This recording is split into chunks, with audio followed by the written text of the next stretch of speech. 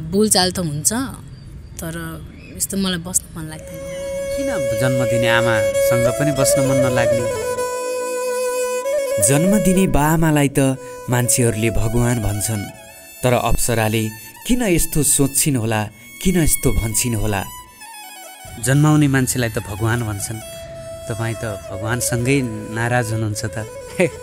रिसाउनु भएको छ त। किन त्यस्तो भयो? तिमी बिना दुरो जिन्दगी मेरो आउ बस मायालु मनको सेरो फेरो कलेजीको छेउमा गाउँ छ मेरो दुईचोटि तिनचोटि भेट गरेको छु बोल्नु भएको छ बाबासँग? हजुर बोलेको पनि छु। के भन्नुहुन्छ बाबाले चाहिँ? गायिका अनि मोडल बन्छु भन्दै काठमाडौँ आएकी अप्सराको कुराले साँच्चीकै आज म चकित परेँ। विश्वको सबैभन्दा विश्वासिलो अनलाइन बेटिङ कम्पनी अनेक्स बेटमा आइडी क्रिएट गर्दा हाम्रो प्रोमो कोड खरो प्रयोग गरी एक सय तिस प्रतिशतसम्मको बोनस प्राप्त गर्दै विभिन्न गेममा बेट लगाएर पैसा जित्न सक्नुहुनेछ। विस्तृत जानकारीको लागि हाम्रो डिस्क्रिप्सनमा लिङ्क राखेका छौँ। रुनु भएको किन रुनु भएको त अनि? हुँ? अब आमा भन्ने शब्दै कस्तो हुन्छ कि? बिहानीको किरणसँगै ममताको ज्योति खोजिरहेछु। प्रतीक्षामा क्षितिज पारी बादलमा हेरिरहेछु। अब आफूलाई चाहिँ जिज्ञासा भएर नि अब किन मम्मी बुवा यसरी छुट्नुभयो? यस्तो खालको प्रश्नहरू आइरहन्थ्यो। दर्शकबिन मेरो नाम गोविन्द पङ्गेनी हो। यो भिडियो अरू दिनको भन्दा अलि फरक छ। तपाईँले पुरा हेर्नुभयो भने साँच्चीकै चकित पर्नुहुन्छ। आफ्नै बाआमाप्रति किन यस्तो भन्छन् होला अप्सरा? अचम्म लाग्छ। अब घर घरमा फाइबर इन्टरनेट र डिजिटल टिभीका लागि वेब सर्फर सम्पर्क शून्य एक उनासाठी सत्तरी दुई बाइस। दर्शकबिन तपाईँले हाइलाइट हेरिसक्नु भएको छ। आजको भिडियोको विषयवस्तु पनि तपाईँले थाहा पाइसक्नु भएको छ। आज फेरि मैले एकजना धादिङको नयाँ प्रतिभालाई तपाईँहरूमा आज देखाउँदैछु। कस्तो लाग्छ जस्तो लाग्छ त्यस्तै प्रतिक्रिया दिन नबिर्सनुहोला स्वागत छ तपाईँलाई। हजुर धन्यवाद। हजुरको नाम के हो? मेरो नाम अप्सरा परियार हो। अप्सरा परियार। घर चाहिँ धादिङ। हजुर। कुन ठाउँ हो तपाईँको धादिङ चाहिँ? धादिङ बेसीमा पर्छ अनि ठ्याक्कै ठाउँ चाहिँ पशुपति मन्दिरभन्दा अलिकति माथि साङ्कोस भनौँ न। धादिङ बेसीमै हो त्यो भन्ने? हजुर। धादिङ बेसी त म पनि धेरैचोटि गएको छु धेरै रमाइलो ठाउँ। अनि धादिङका कलाकारहरू त धेरैजना हुनुहुन्छ नि तपाईँलाई थाहा छ कि छैन? हजुर थाहा छ। म मेरो पनि खरो मिडियामा अन्तर्वार्ता दिने क्रममा पनि धादिङका यति धेरै कलाकार आउनुहुन्छ कि अनि कतिले कमेन्ट गर्नुहुन्छ। खालि यो मिडियाले खालि धादिङको लागि मात्रै लिएर आउँछ यो मान्छे धादिङै रहेछ क्या घर कि ससुराली रहेछ भन्छन् कि? तपाईँ पनि आज संयोगले धादिङ नै पर्नु भएछ कि? हजुर हजुर। धादिङ नै। भनेपछि तपाईँको गायक कलाकार बन्ने सपना हो। हजुर त्यही छ आफ्नो इच्छा चाहिँ त्यही छ सानैदेखि भनौँ न। हजुर। सानैदेखि नाच्ने गाउने रमाइलो गर्ने यस्तो कुराहरूमा एकदम मनपर्ने क्या। अनि गाउनेदेखि लिएर नाच्नेदेखि लिएर सबै कुरालाई यस्तो अगाडि बढाउँ जस्तो सोच लाग्छ मलाई चाहिँ भविष्यमा होइन। अब यदि राम्रो कलाकार बन्न सक्यो भने अब आफ्नो नेपालको नाम अनि आफ्नो पनि नाम हुन्छ होइन। अनि सबैले गौरव यस्तो अनुभव गर्छ भन्ने जस्तो लाग्छ मलाई चाहिँ। तपाईँ नाच्नु पनि हुन्छ। हजुर नाच्छु पनि। आज यहाँ केही भएन बजाउने कुरा नत्र आज तपाईँको नाच हेर्नुहुन्थ्यो। हजुर कुनै दिन अवश्य देखाउने छु हजुरलाई। हजुर। अनि तपाईँको परिवारमा को को हुनुहुन्छ त? मेरो परिवारमा चाहिँ मम्मी मम्मीको बहिनीहरू मामा मामा माइजू अ, हजुरमम्मी हजुरमम्मी बहिनी सबै हुनुहुन्छ। सबै एउटै घरमा बस्ने? होइन सबै चाहिँ एउटै घरमा बस्नुहुन्न यस्तो म चाहिँ धादिङमा सानैदेखि अब मामा घरमा बसेको सानैदेखि हुर्केर आएको त्यहीँनिर हुर्केर आएको होइन? अनि धादिङमा चाहिँ मेरो मामा घर पनि हो मेरो आफ्नै घर पनि हो। अनि त्यही धादिङमा चाहिँ मामाहरू हुनुहुन्छ हजुरमम्मीहरू हुनुहुन्छ अनि मम्मीहरू चाहिँ यतै हुनुहुन्छ मम्मीको बहिनीहरू पनि सबै काठमाडौँमै हुनुहुन्छ। तपाईँ चाहिँ मामा घरमा हुर्किनु भएको हो? हजुर हजुर सानैदेखि। किन नि तपाईँको आमा हुँदाहुँदै यता घरतिर हुँदाहुँदै मामा घरमा बस्नुभएको तपाईँ चाहिँ? यस्तो अब बाबा मम्मीको रिलेसन राम्रो थिएन। अनि त्यो के भयो कसरी भयो त्यो चाहिँ मलाई यस्तो राम्रोसँग थाहा चाहिँ छैन है। अब त्यही त हो हामी त अब घरको सबभन्दा सानो मान्छेहरू बच्चा मान्छेहरू यस्तै अब सोध्यो भने अब त्यही त हो अब हाम्रो त ठुलो मान्छेले खुसी नै हेर्ने हो भनौँ न। अनि अब हजुरमम्मीहरूलाई सोध्यो भने अनि अब त्यस्तो राम्रोसँग खुलेर भन्न न नभन्ने कि होइन खुलस्ट नभन्ने अनि अब आफूलाई चाहिँ जिज्ञासा भएन नि अब किन मम्मी बुवा यसरी छुट्नुभयो यस्तो खालको प्रश्नहरू आइरहन्थ्यो। अब त्यही भनौँ न अब ए भनेपछि तपाईँको बाबा मम्मीसँगै हुनुहुन्न। कहाँ हुनुहुन्छ त तपाईँको बाबा अहिले चाहिँ? बाबा चाहिँ अहिले आफ्नै अहिलेको वाइफसँग हुनुहुन्छ होला। तपाईँले देख्नु भएको छ कि छैन तपाईँको बुवालाई चाहिँ? देख्न चाहिँ देखेको छु। दुईचोटि तिनचोटि भेट गरेको छु बाबासँग। बोल्नु भएको छ बाबासँग? हजुर बोले पनि छु। के भन्नुहुन्छ बाबाले चाहिँ? माया गर्नुहुन्छ अब राम्रोसँग पढ अब यस्तो नाम कमाऊ यस्तो सुझाव दिनुहुन्छ होइन? सँगै नभए तापनि भेटघाटको बेलामा अब कोही कोही बेलामा मात्रै भेटिन्छ त्यो पनि मुस्किलले भनौँ न अनि त्यस्तै अब राम्रोसँग भेटेको बेला राम्रोसँग पढ अब ठुलो मान्छे भन्नु त्यस्तो टाइपको कुराहरू गर्नुहुन्छ अनि त्यस्तै। ल एउटा गीत सुनाउ न तपाईँको आवाजमा।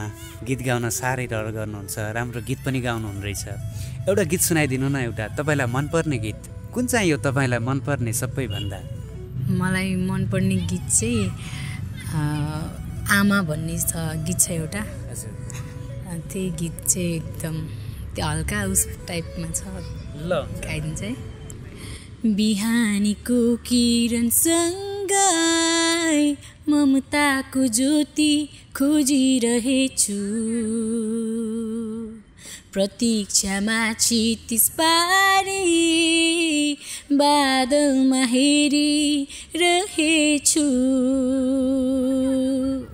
आशा त मनमा थियो तिमी नजिक छौ। महसुस गरे तिमी छैनौ। सोध्नु छ धेरै कुरा तिमी छाडी गयो सक्दिनँ सरी रुनु भएको किन रुनु भएको त अनि? अब आमा भन्ने शब्दै कस्तो हुन्छ कि? गीत गाउने मान्छे त रुन भएन नि त अनि बिचैमा रोयो भने। त्यस्तै अब। ल ठिकै छ ल अर्को गीत सुनाउनु होला नि त एकछिन पछाडि। यो यहाँ चाहिँ कहाँ बस्नुहुन्छ तपाईँ? काठमाडौँमा? अहिले हजुर काठमाडौँमा यहीँ गङ्गा बुगड स्थानमा। बस्छु म गङ्गामुमा बस्नुहुन्छ। कति कक्षामा पढ्नुहुन्छ? कि के गर्नुहुन्छ? पढ्दैछु अहिले एघारमा पढ्छु म। यहीँ नेपाल टारमा एनआर कलेजमा पढ्छु अहिले। एघार कक्षामा पढ्नुहुन्छ। को को हुनुहुन्छ यहाँ काठमाडौँमा चाहिँ तपाईँको? यहाँनिर चाहिँ मम्मीको बहिनीहरू हुनुहुन्छ अनि मम्मी पनि बस्नुहुन्छ कलङ्कीमा बस्नुहुन्छ मम्मी चाहिँ। म चाहिँ मम्मीको बहिनीसँग बस्छु अहिले सानी किन त मम्मी यहीँ हुँदा हुँदै पनि तपाईँ सानीमासँग बस्ने आमा छोरीसँगै बस्ने हुँदैन त अनि? यस्तो अब मम्मीको र मेरो पनि खासै राम्रो यस्तो सम्बन्ध चाहिँ छैन। अब बोलचाल त हुन्छ तर यस्तो मलाई बस्नु मन लाग्दैन। किन जन्म दिने आमासँग पनि बस्न मन नलाग्ने? तपाईँको प्राइभेट कुरा हो भने नभन्नु होला भन्न मिल्छ भने मात्रै नभन्नु भन्नु होला है त? त्यस्तै अब अब मन नमिलेपछि त्यस्तै हुन्छ भनौँ न। सबै कुरा अब ग यस्तो अब सबै कुरा कि हुनलाई पनि मन मिल्नुपर्छ क्या अनि अब मनै मिल्दैन भने अब त्यस्तो हुन्छ नि सम्बन्ध नै राम्रो छैन भने सँगै बसेर नि केही हुँदैन। जन्म दिने आमासँग त कुरा मिल्नुपर्ने हो त तपाईँलाई हो जन्माएको नै उहाँ नै हो। जन्माउने मान्छेलाई त भगवान् भन्छन्। तपाईँ त भगवान्सँगै नाराज हुनुहुन्छ त। रिसाउनु भएको छ त? किन त्यस्तो भयो? यस्तो नाराज भन्दा पनि अब उहाँले त गर्नु चाहिँ भएको छ है। मेरो लागि हुन्छ नि अब जन्म दिएदेखि अहिलेसम्म जे सब जे पनि गर्नुभएको छ त्यसको लागि धेरै आभारी छु होइन? धेरै धन्यवाद दिन चाहन्छु। तर अलिकति कता कता चाहिँ आफ्नो हुन्छ नि इच्छाहरूलाई म यस्तो गर्छु भनेर अगाडि बढ्छु भनेर मैले अब आफ्नो आमासँग मम्मीसँग हुन्छ नि अब आफ्नो इच्छाको कुराहरू गर्दाखेरि चाहिँ हल्का बिचमा रोकेको जस्तो मलाई अनुभव हुने क्या। अनि अब कहीँ अब प्रोग्रामहरूमा जाँदा पनि नराम्रो भन्ने त्यस्तो टाइपको चाहिँ हुन्छ नि सोच्नुहुन्छ क्या। अनि उहाँलाई चाहिँ यस्तो यस्तो यो सिङ्गिङको डान्सिङको यस्तो फिल नै मनै पर्दैन क्या उहाँलाई चाहिँ खासमा भन्नुपर्दाखेरि। तर आफ्नो इच्छाको कुरा हो होइन। अब कि अब आफ्नो बच्चाहरूको इच्छा के छ भने त्यो बुझ्नुपर्ने उहाँको कर्तव्य हो। त्यस्तो लाग्छ है मलाई चाहिँ। अब अब कोहीलाई अब यस्तो बन्ने इच्छा छ भने अब डक्टर पढाएर पनि त त्यो भएन नि त होइन। दिमाग पनि त जानु पऱ्यो त्यस्तो त्यस्तो चाहिँ मलाई अनुभव हुन्छ। अनि अब मैले जतिखेर नि आफ्नो हक हक माग्दाखेरि आफ्नो इच्छा गर्छु भन्दाखेरि अब खालि हुन्छ नि यस्तो गर्नुपर्छ उस्तो गर्नुपर्छ। उहाँको सु सुल्लाह सल्लाह सुझाव पनि राम्रै हो होइन? तर एकचोटि चाहिँ आफ्नो बच्चाहरूको हुन्छ नि इच्छा के छ भन्ने कुरा चाहिँ बुझिदिनुपर्छ भन्ने जस्तो लाग्छ। अनि त्यही कुरा नबुझेकोले मलाई हल्का चित्त दुख्छ क्या भित्रैदेखिबाट। अनि त्यस्तो सम्झिँदाखेरि चाहिँ यस्तो भावुक भइदिइहाल्छु क्या। कति वर्षको हुनुभयो अहिले तपाईँ? अहिले म उन्नाइस। उन्नाइस। भनेपछि तपाईँको मम्मीले चाहिँ तपाईँलाई गीत सङ्गीतमा लाएको गीत गाएको नाचेको चाहिँ मम्मीले मन पराउनुहुन्न? हजुर। त्यही कारण थियो तपाईँहरू छु छुट्टा छुट्टै बस्नुको कारण चाहिँ? अब त्यो पनि हो अब अब अर्को चाहिँ के भन्नु अब सानैदेखि म यता मामा घरमा बसिहालेँ होइन। अब त्यो के कारणले किन म यता आएर बसेँ भन्ने कुरा त उहाँहरूलाई थाहा होला। तर मलाई जहाँसम्म लाग्छ मैले सानैदेखि मम्मीकै काखमा हुर्किन पर्ने मान्छे हो। तर त्यो पनि पाइनँ मैले होइन। त्यो सानैदेखि जुन साथ पाउनु पर्ने थियो त्यो पाइनँ तर आर्थिकमा चाहिँ जति गर्नुभएको छ त्यसको लागि धेरै आभारी छु। भनेपछि तपाईँले सानैदेखि आमाको काखमा हुर्किन चाहिँ तपाईँ पाउनु भएन। त्यही भएर अहिले पनि आमाको त्यति धेरै वास्ता रहेन तपाईँभित्र? वास्ता नरहेको भन्दा पनि हल्का मन चाहिँ दुख्छ क्या। अब आफ्नो कुरा नबुझिदिएकोमा यस्तो गर्छु उस्तो गर्छु भन्दाखेरि अब अब अर्काको हेरेर पनि थाहा हुन्छ क्या। लाइक अब हुन्छ नि अर्काको अब मेरै साथीको इक्जाम्पल दिउँ न होइन? अब मैसँगै हिँडेको साथीहरूको उनीहरूको हामीसित अब यस्तो डान्सहरू गर्दा प्रोग्राममा स्टेज सो त गर्नुपर्ने हुन्छ नि होइन? त्यतिखेर ग्रुपमा हिँड्दाखेरि अब आफूले अगाडि स्टेजमा नृत्य गर्दाखेरि अब आफ्नो साथीहरूकै अ, परिवार आएर मेरो छोराछोरीको यस्तो छ उस्तो छ जानुपर्छ भनेर हेर्न आउँदाखेरि सबैको देख्थेँ क्या मैले परिवारहरू आएको तर मेरो चाहिँ आउनुहुन्न थियो क्या। त्यतिखेरको चाहिँ पीडा छुट्टै हुन्थ्यो क्या। अनि तपाईँ चाहिँ कहाँ जानुहुन्थ्यो कार्यक्रममा जस्तो स्टेजहरूमा कार्यक्रमहरूमा चाहिँ? धादिङमै हो होइन? म धादिङमै यहाँ आएको नि धेरै भएको छैन। म दुई तिन महिना भयो। अनि म धादिङमै बसेको अनि उतै डान्स गर्थेँ उतै एउटा step of dance academy M dance studio थियो। अहिले एम डान्स स्टुडियो चाहिँ हाम्रो आशिष राणा मगर सरको थियो। उहाँको चाहिँ बाबालाई अब एक्कासी प्यारालाइसिस भयो बिरामी भयो। अनि त्यसपछि त्यही कारणले छोड्नु पऱ्यो के त्यो डान्स क्लास छोड्नु पऱ्यो। अनि अहिले चाहिँ स्टेप अफ डान्स एकाडेमीमा सिक्थेँ मैले। अनि त्यहाँको मेम्बरहरू अनि एम डान्सको मेम्बरहरू हामी सबैजना चाहिँ यस्तो महोत्सवहरू हुँदाखेरि हामीलाई प्रोग्राममा डान्स एटेन्ड गर्नु पऱ्यो। भनेर हामीलाई खबर आउँथ्यो। त्यही त्यसकै उसमा सिलसिलामा हामीहरू चाहिँ सिकेर जान्थ्यौँ ग्रुपमा जान्थ्यौँ अनि त्यतिखेर चाहिँ अनि त्यही साथीहरूको फ्यामिलीहरू सबै आउनुहुन्थ्यो सपोर्ट गर्न क्या एज अ सपोर्टर। अनि त्यतिखेर हाम्रो चाहिँ आउनुहुन्न थियो क्या मेरो चाहिँ भनौँ न। अनि कस्तो अर्कै तपाईँलाई त्यति बेला मेरो पनि परिवार आइदिएको भए म नाचेको हेर्न आइदिएको भए बुवा मम्मी अगाडि भइदिएको भए भन्ने लाग्थ्यो तपाईँलाई? त्यही कुरामा मन दुख्थ्यो। हजुर त्यस्तो लाग्थ्यो। अनि तर मैले भन्न चाहिँ भन्थेँ कि मेरो यस्तो हुँदैछ उस्तो हुँदैछ आइदिनुहोस् हेरिदिनुहोस् भन्थेँ। अनि उहाँहरूले भ्यायो भने आइदिन्छु नभ्यायो भने आइदिन्न भन्नुहुन्थ्यो। तर हजुर मम्मी चाहिँ आउनुहुन्थ्यो। हजुर हजुरआमा आउनुहुन्न हजुर कहिले कहिले उहाँ पनि आफ्नै पेसामा लाग्नुहुन्थ्यो। अनि त्यही अनि आउनुहुन्थ्यो उहाँ चाहिँ टाइम मिलाएको बेला आउनुहुन्थ्यो। धेरै सपोर्ट गर्नुहुन्थ्यो उहाँले चाहिँ फेरि एकदम माया गर्नुहुन्थ्यो क्या। जस्तो तपाईँलाई अब मम्मीले गीत गाउनलाई सपोर्ट गर्नुहुन्न रहेनछ नाच्नलाई सपोर्ट गर्नुहुन्न रहेछ तपाईँलाई चाहिँ तपाईँ भइदिए कस्तो भइदिए हुन्थ्यो जस्तो के भइदिए चाहिँ मम्मी खुसी हुनुहुन्थ्यो त? के बनाउन चाहनुहुन्थ्यो मम्मीले? त्यो तपाईँले गर्नु भएन अथवा के बनाउन चाहनुहुन्छ तपाईँको मम्मीले? होइन अब मम्मीले चाहिँ उहाँको चाहिँ भित्री मन चाहिँ मैले बुझ्न सक्दिनँ क्या। के बनाउन चाहनुहुन्छ? अब गाली मात्रै मैले आजसम्म जहाँसम्म अनुभव गरेको छु उहाँको मुखबाट कहिले चाहिँ कहिले चाहिँ थोरै माया पाएको जस्तो पनि महसुस गर्छु। तर त्यो पछि त्यो महसुस हुँदा हुँदै पछि फेरि एक्कासी के? त्यही घृणा नै फेरि आइहाल्छ क्या फोनमा त बोल्नुहुन्छ होला नि तपाईँ मम्मीसित। कति कति दिनमा बोल्नुहुन्छ? बोल्दिनँ म फोनमा। फोनमा बोल्दै बोल्नुहुन्न? कहिले कहिले मात्रै कहिले कहिले? हजुर। अनि आर्थिक त पैसाहरू त कसले दिन्छ तपाईँलाई? मम्मीले नै दिनुहुन्छ अनि मम्मीको बहिनीहरूले पनि हेर्नुहुन्छ। उहाँहरूले मम्मीले नै दिनुहुन्छ भनौँ न। हजुर। के गर्नुहुन्छ मम्मीले चाहिँ? बाबा पनि सँगै हुनुहुँदैन छ। मम्मीले एउटा सानो पसल खोल्नु भएको छ अरे कलङ्कीमा। होटेल जस्तो। त्यही त्यहीबाट आम्दानी गर्नुहुन्छ। होटेल खोल्नु भएको छ मम्मीले। जन्मदिने बा आमालाई भगवान् भन्छन्।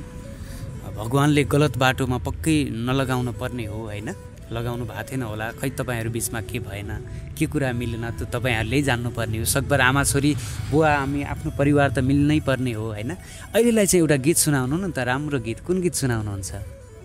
गीत हुन्छ? हुन्छ ल। डाडे पिपलमा तिम्रै खुसी भगवान् सभाक्या छु? सँगै जिउने मर्ने सोच राख्या छु? चल्यो बतास। डाँडै पिपलुमा चल्यो बतास मनै चोरी जाने माया कता छ।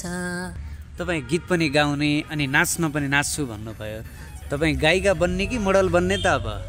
मेरो सोच चाहिँ सानैदेखि के थियो भने अब यस्तो टिभीहरूमा फिल्महरूमा हेर्दाखेरि अब कोहीले अहिले त त्यो मार्केटमै आइरहेछ होइन। आफै गाउने आफै नाच गर्ने डान्स गर्ने त्यस्तो त्यस्तो पनि भइरहेको छ। मेरो चाहिँ सोच त्यही थियो कि अब जे भयो आफ्नो अब यदि मैले गीत निकालेँ भने म्युजिक भिडियो बनाएँ भने अब आफ्नो आफ्नै आफूले नै क्यामेरा फेस गरेर गर्छु गर्नुपर्छ भन्ने जस्तो सोच चाहिँ मलाई लाग्छ कि। किनभने अब एक्टिङको पनि आफूलाई नलेज हुन्छ त्यस्तो गऱ्यो भने। अनि अब लाइक आफ्नो इच्छा पनि पुरा भयो। त्यस्तो त्यस्तो चाहिँ मलाई लाग्छ। त्यही भएर म चाहिँ दुइटै ल बढी मात्रामा तपाईँले दोहोरी गीतहरू सुन्नुहुन्छ कि गाउनुहुन्छ कि आधुनिक गीतहरू कस्ता खालका गीतहरू तपाईँका चोइसमा पर्छन् त? चोइसमा त अनेस्टली भन्नुपर्दा चाहिँ म सबै सबै सुन्छु। सबै सुन्छु। बढी मात्रामा। चाहिँ म नेपाली नै नेपाली नेपाली कुन आधुनिक गीतहरू आधुनिकहरू सुन्छु। तपाईँलाई मनपर्ने कलाकार को गीत गाउने? मलाई शिव परियार शिव परियार गायिकामा? गायिकामा चाहिँ मेलिना राई। मेलिना राई। नाच्नेमा? नाच्नेमा चाहिँ मलाई के अरे के अरे के अरे एलिसा शर्मा। एलिसा शर्मा। मेल चाहिँ को? मेल चाहिँ बिजु पाखरी। ल। यति बेला फेरि अर्को गीत सुनाउनु न त तपाईँले। कुन गीत सुनाउनुहुन्छ? म म, तिमी बिना अधुरो भन्ने मायालुको माया मिठो। ल सुरु गर्नु है त। तिमी बिना अधुरो जिन्दगी मेरो। आउ बस मायालु मनको सेरो फेरो। कलेजीको छेउमा गाउँ छ मेरो तिम्रो मनको पानामा नाउ छ मेरो हातमा हात बाँधे सँगै जिउने बाचा गरो दुई मुटु एकै पारी पिरतीको खोला तरो मायालुको माया मिठो न्यानो न्यानो काखा। जुनी जुनी सयौँ जुनी अङ्गालु मेरा मायालुको माया मिठो न्यानो न्यानो काखा। जुनी जुनी सयौँ जुनी अङ्गालु धन्यवाद। तपाईँका सपनाहरू पुरा हुँदै जाउन्।